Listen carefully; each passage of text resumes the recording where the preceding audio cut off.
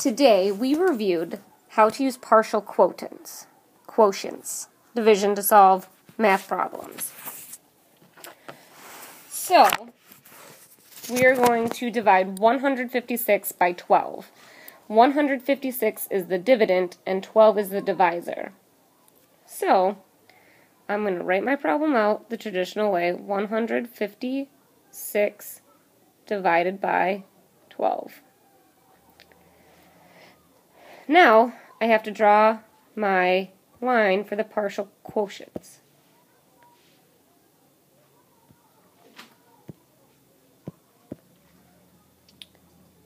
How many 12s are in 156?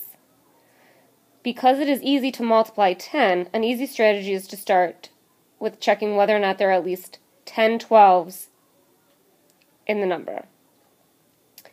Are there? Yes, because 12 times 10 equals 120. And 120 is less than 156. So I'm going to write 120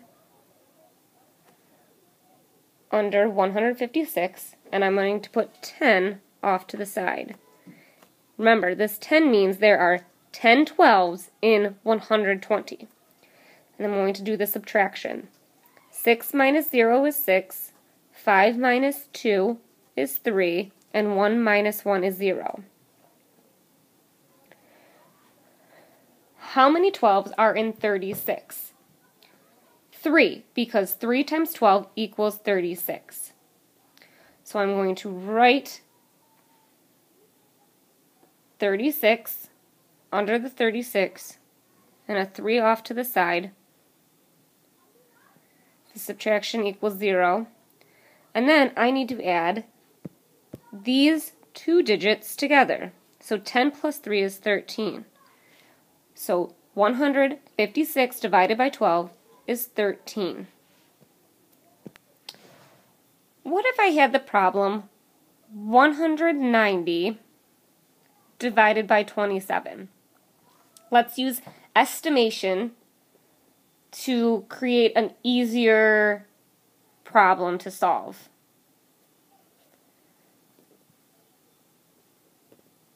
So, we're going to round 190 up to 200 and divide it by 30 because we looked at the 9 and the 7 and they both are hot, bigger than 5 we must round up. So, if I clear, I'm going to write small. So I have 200 divided by 30. I draw my vertical line.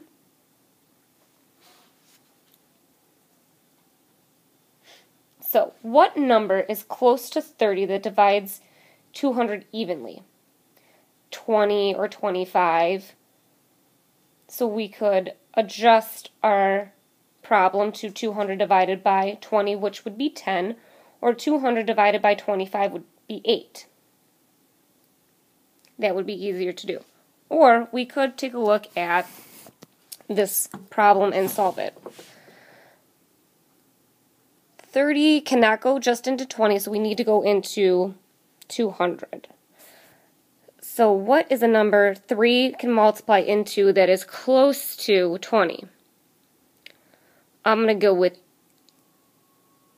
6. 3 times 6 is 18. So 30 times 60, or 30 times 6 would be 180. So I'm going to write 180 because 6 times 3 is 18 and I have my extra 0 and I'm going to write a 6. Then I do my subtraction. I have to borrow from the 2 to get 10. I have 20 left over. Can anything go in there? Can 30 go into 20? No. So my answer is 6 remainder 20. Division. Read the example of how to use the partial quotients division with multiples of the divisor. So we have 237 divided by 11. We needed to think how many 11s are in 237. We know 20 times 11 is 220, so there are at least 20 11s. We wrote the 20 here as the first partial quotient and 220 below 237. We subtract and we have 17 left over. How many 11s are in 17? 1. So that's the next partial quotient. You write the 11 below the 17 and subtract. 6 is left to divide. 6 is less than 11, so we are done dividing. Add the partial quotients. 20 plus 1 equals 21. A remainder is 6. The quotient is 21. You could have started solving the example problem by taking away 110 from 237. If this was your first step, what would have been the first partial quotient and why? I want you to answer that one on your own. Let's take a look at number two. First, it says to estimate. So I'm looking at 15. I'm going to look at that 5. And I'm going to round up to 20. 485. I'm going to round that up to 500. That equals uh, 5, uh, 2, 4. So 20 times 20 is 400. Then I have 100 left over. So it's going to be 25. I'm going to check my math real quick.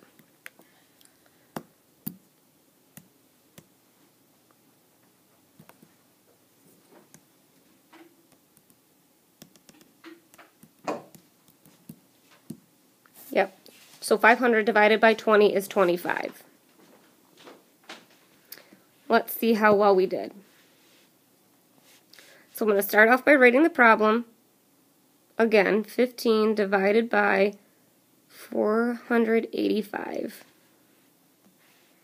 And I'm going to have my line go down. How many times does 15 go into 400?